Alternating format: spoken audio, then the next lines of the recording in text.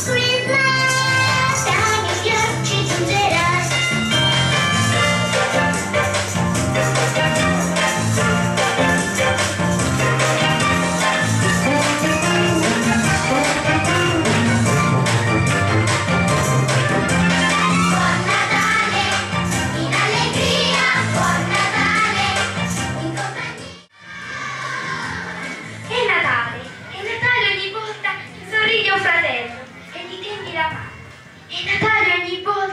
Che rimani in silenzio per ascoltare l'altro.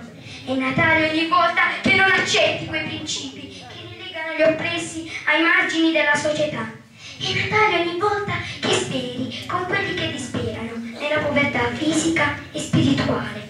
È Natale ogni volta che riconosci con umiltà i tuoi limiti, la tua debolezza. È Natale ogni volta che permetti al Signore di rinascere per donarlo agli altri.